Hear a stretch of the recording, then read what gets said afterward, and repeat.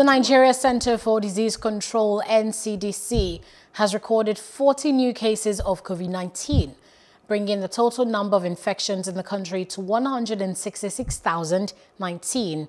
The agency said that to date, uh, 156,476 uh, persons have been treated and discharged, and 2,067 deaths were recorded in 36 states and the Federal Capital Territory.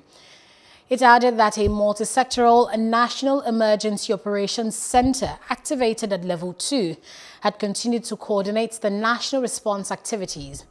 The NCDC said that the agency had tested over 2 million people since the beginning of the pandemic on February 27, 2020. Hello, hope you enjoyed the news. Please do subscribe to our YouTube channel and don't forget to hit the notification button so you get notified about fresh news updates.